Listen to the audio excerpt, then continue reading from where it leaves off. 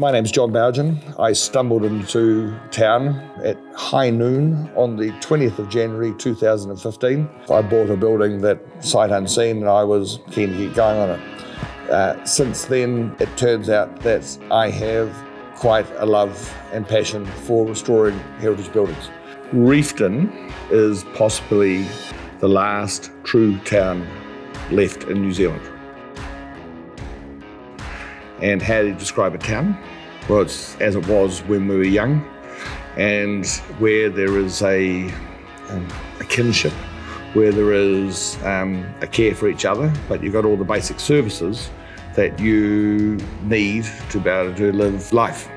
What I love about it is that during the day, she's flat out. Reefton is the gateway to the West Coast. Uh, all the shops are doing well, the tea rooms, all the food outlets. And then at about five o'clock, you can stand in the middle of the road, middle of the state highway, and have a natter. But the beauty, I think, of Reefton is that there is, it's more restored than not restored. So we've got all of these beautiful buildings now coming back to their former glory and in some cases better condition than when they first when they first built. All the buildings in town, I think, are up to well, well over 30 now that we're involved in in doing up. I don't own them all, but we have. Uh, for the benefit of town, we have actually just gone and done up some buildings which will aid in getting people to turn off the main road and drive up the main street. Of all of them, I have a few favourites. The Tote building down in the racecourse every time I look at that, I have a wee tear in the eye because it was such a shambles.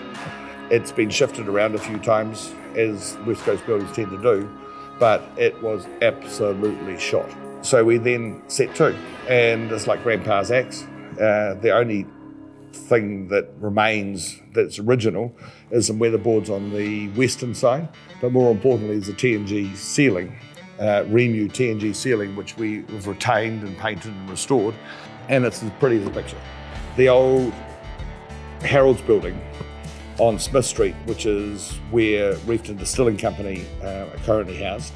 And the Harold's General Store was one that uh, was equally run down. It was once again shot. The School of Mines, uh, next door to where we live, is, is a favourite.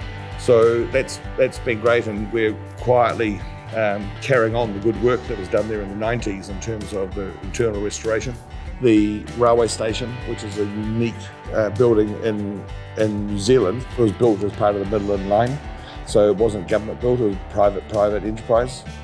And the courthouse is famous for another number of things. Its last case was a murderer who was fatally hung in Wellington.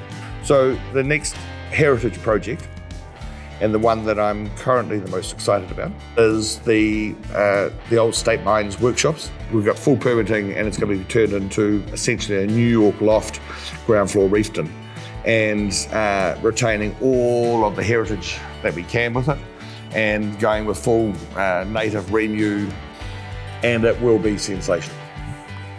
Just because a building's old doesn't mean that it has to be restored faithfully back to what it was. It, there's a there's a reuse that needs to happen so that it has it has some meaning and, and use within society or with, within the context of where, where it is. You've got to find the right people and the pe people who are prepared to put the money in to make it happen. And uh, luckily in Reefton we don't have that problem. So we'll stand out as being head and shoulders above all our, all others for, for the moment. If somebody was to come to town, and lots do now, if, if what's drawn them here is heritage, well, we've got it by the bucketful.